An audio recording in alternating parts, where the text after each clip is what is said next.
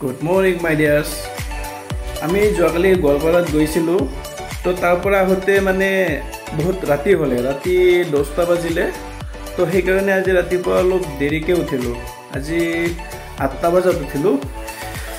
এতিয়া অলপ মেকআপ কৰিব লাগিব। আহ।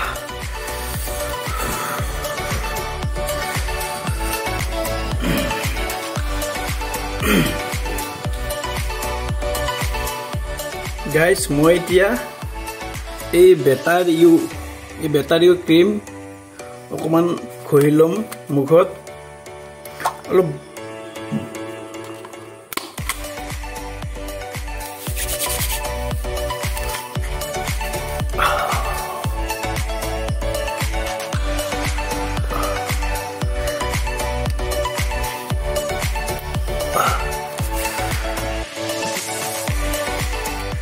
এতিয়া অলপ বডি লেচন ঘঁহিম।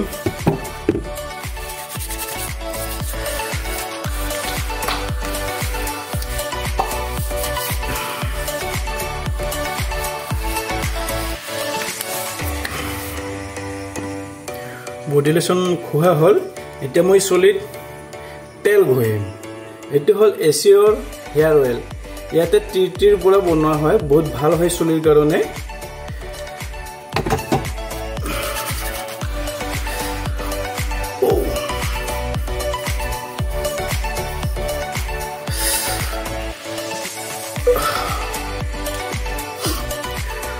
গাইজ হৈ গ'লো মই এতিয়া ৰেডি কাপোৰ চাপোৰ পিন্ধা হ'ল। অলপ পাৰফিউম লগাই লওঁ। কালি ৰাতি মানে ভাত নোখোৱাকৈ শুই দিলোঁ। তো আজি ৰাতিপুৱা বহুত ভোক লাগি আছে।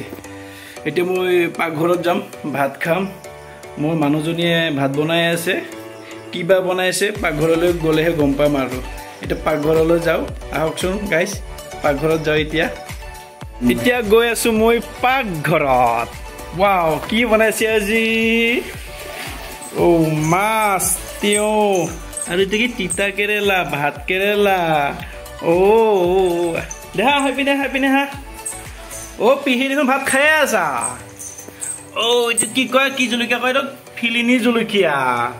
অ' পিহি কেনেকা হৈছে? চব্জি কেনেকা? ভাল হৈছে। দেহা?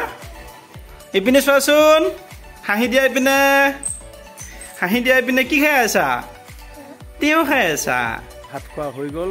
এতিয়া মই দোকানলৈ ওলাই যাম অকণমান। এতিয়া মই দোকানত ওলাই গৈ আছোঁ।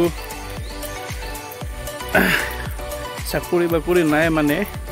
তো সৰুকৈ এখন দোকান দিছোঁ আৰু। গাঁৱৰে চকত এখন দোকান দিছোঁ। তাতে গৈ আছোঁ এতিয়া দোকানখন খুলিম। এতিয়া ভাত চাত খাই কিনে এতিয়া গৈ আছোঁ। মানে গাইজ মোৰ আগতে এনেকুৱা ভিডিঅ' বনোৱাৰ কোনো এক্সপিৰিয়েঞ্চ নাই। এয়ে মোৰ প্ৰথম হয়। ফাৰ্ষ্ট মানে ট্ৰাই কৰি আছোঁ আৰু ভিডিঅ' বনাবৰ কাৰণে। তো গাইজ আপোনালোকে অকণমান সহযোগ কৰিব মোক। মোৰ চেনেলটো ছাবস্ক্ৰাইব কৰিব। ভাল লাগিলে কমেণ্ট কৰিব লাইক কৰি লাইক দিব আৰু শ্বেয়াৰ কৰিব। তো গাইজ মই ফাইনেলি আহি পালোঁ দোকান। এইখনেই হ'ল মোৰ আকৌ দোকানখন কৰিম। অকণমান পইচাৰ প্ৰব্লেম হৈ আছে কাৰণে দোকানখনত বস্তু ৰাখিব পৰা নাই। তো লাহে লাহে আনি আছোঁ আৰু দোকানত বস্তু। যেতিয়া আকৌ ষ্টক বঢ়াম দোকানখনত তো আকৌ এটা পিছলৈ ভিডিঅ' বনাম আপোনালোকলৈ গাইজ মই আপোনালোকক কৈছোঁৱেই যে মই নতুনকৈ ভিডিঅ' বনাবলৈ শিকি আছোঁ। তো ভিডিঅ' বনোৱা ইমান নহ'বও পাৰে তথাপি মই যিমানখিনি পাৰোঁ চেষ্টা কৰিছোঁ। আপোনালোকে ভিডিঅ'টো চাই মোৰ চেনেলটো প্লিজ ছাবস্ক্ৰাইব কৰি দিব যাতে মই আৰু আগলৈ এনেকুৱা ধৰণে ভাল ভাল ভিডিঅ' বনাবলৈ সক্ষম হওঁ। তো ভিডিঅ'টো যদি ভাল লাগে আপোনালোকে লাইক কৰিব শ্বেয়াৰ লগতে গাইজ কমেণ্ট কৰিব। কমেণ্টত কিবা যদি ক'ব বিচাৰে ক'ব পাৰে মই ৰিপ্লাই নিশ্চয় দিম। মোৰ ভিডিঅ'টো যে আপোনালোকে ইমান ধৈৰ্য সহকাৰে চাই আছে তাৰ কাৰণে আপোনালোকক বহুত বহুত ধন্যবাদ থাকিল মোৰ ফালৰ পৰা সকলোলৈ। ধন্যবাদ।